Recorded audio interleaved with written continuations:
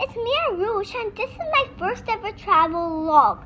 So here I am in the car with my family, my brother Arish, my mom and my little sister Irha and and we are going to the airport. Here is my mom having a coffee and I am just chilling and waiting to go in plane. So finally I'm inside the plane doing some coloring. Meanwhile my brother is just being naughty. And after a while I had my lunch. It's just a three and a half hour flight from Kuwait to Georgia. And look, we arrived. And wow, this weather is amazing. And ladies and gentlemen, this is the view.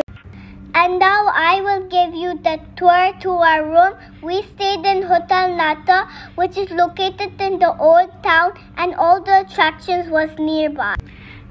This is our room and look how big it is and we have a little view as well. And I wanted to look outside but mama went to the master bedroom. View from here is more beautiful. This is the full view of the room. And twins were playing. I am just relaxing and enjoying the view. Let's call it a night. Stay tuned for more updates like